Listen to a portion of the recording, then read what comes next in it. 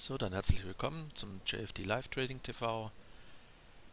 Heute ist ja dann der Tag der Entscheidung, beziehungsweise dann eben morgen, wenn die Auszählung stattgefunden hat und die ersten offiziellen Ergebnisse vorliegen in dem Referendum.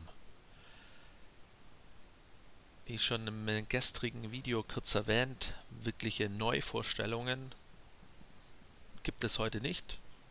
Man kann hier klar den Markt nochmal screenen und Mini-Position eingehen, aber der größte Teil überhaupt, was diese Woche dann jetzt angelaufen ist und passiert ist, hat ja super geklappt. Entweder hier ein Gold-Short, äh, gestern den äh, WTI, hier die Währungspaare, bis auf australischer Dollar, neuseeländischer Dollar und den kann man auch theoretisch noch behalten. Da dürfte sich jetzt nichts ähm, groß wegen morgen jetzt ändern hier in dem Währungspaar. Ist ja nicht kein Pfund und keine, kein Euro oder auch keine Yen-Paar hier.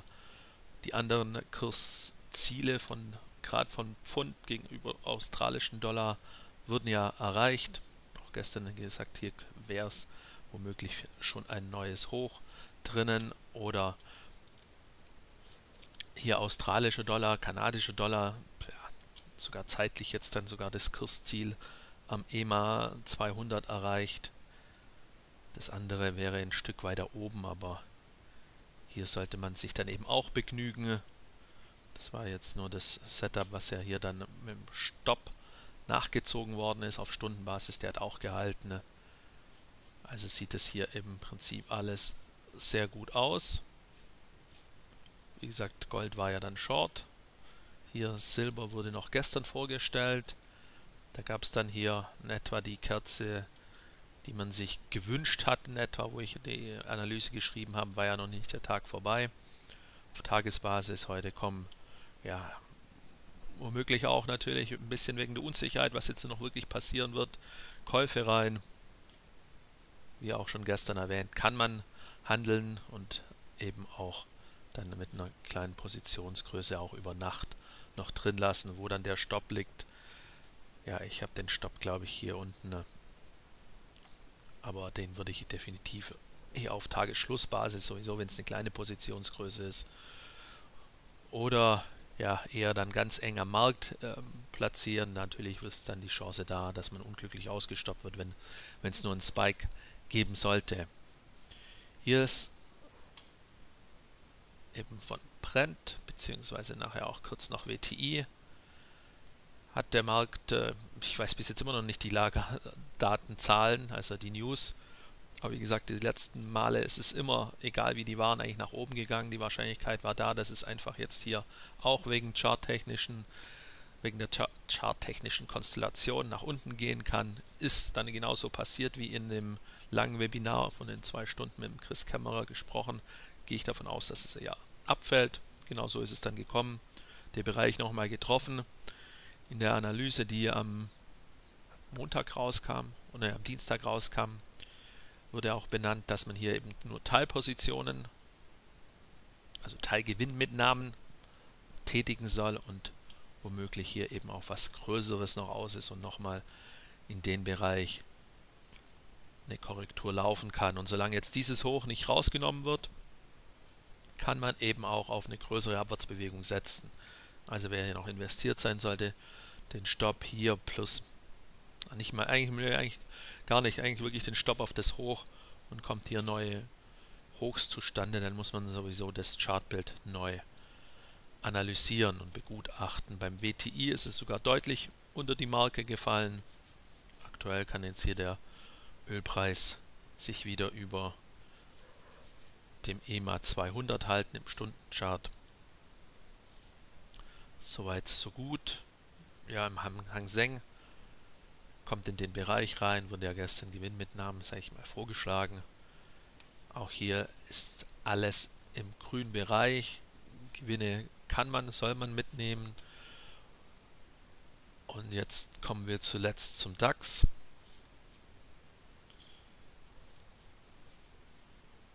Kurz eben zu den Auffälligkeiten, wie schon gestern erwähnt, ja hier direkt auch in der Schlussauktion auf Xetra-Basis, also in der Xetra-Auktion, sind hier ja, über 20 Punkte passiert. Also da wurden massiv Aktien äh, verkauft oder gegeben auf, den, auf der Xetra-Aktion und gestern waren es sogar 50 Punkte. Die letzte Kerze hier. Also wirklich sehr auffällig. Da haben ein paar Fonds vielleicht eben Aktien noch gegeben, weil in der Schlussau Schlussauktion ist der meiste oder ja, eigentlich wahrscheinlich schon der meiste Umsatz äh, dann da im Gegensatz eben zu der Eröffnungsauktion. Das Chartbild hier war eben so gedacht in der 4-Stunden-Close oder Tagesclose über dieser Marke, aber eben mit der Prämisse, was in dem Video, in dem Webinar auch benannt worden ist, eine Umkehrkerze. Schöner wäre es gewesen, kompletter Gap Close, was aber ja nicht stattgefunden hat und eine Kerze, dann hätte man hier das ja handeln können. Liegt jetzt im Plus. Aber für mich wäre es eh zu riskant gewesen. Wäre schöner gewesen, einen kompletten Rücklauf und dann nochmal versucht hier long zu gehen. Also, es wird, wirklich spannend zu sein, was dann heute weiteren Tagesverlauf beziehungsweise eben auch in der Nacht passiert, wenn die ersten Ergebnisse, offiziellen Ergebnisse dann veröffentlicht werden. Wie gesagt, man muss nicht im Markt sein, man kann, aber das Risiko ist echt sehr hoch, mit, mit irgendwelchen größeren Gaps ähm, ja, abgegriffen zu werden. Natürlich, wenn man auf der richtigen Seite liegt, aber im Prinzip, wo jetzt die, genau die richtige äh, Seite ist, ist natürlich schon schwer zu sagen.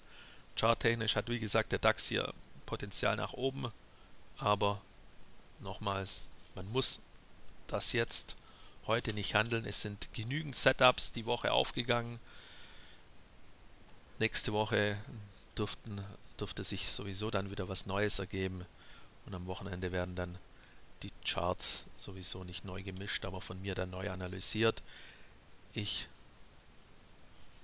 lösche dann jetzt hier sozusagen erstmal die ganzen Setups, die werden jetzt nicht mehr besprochen. Das war jetzt heute der letzte Tag und ab morgen bzw. am Wochenende wird es dann neue Szenarien, Setups geben. Danke fürs Zuhören und weiterhin viel Glück und Erfolg am heutigen Handelstag.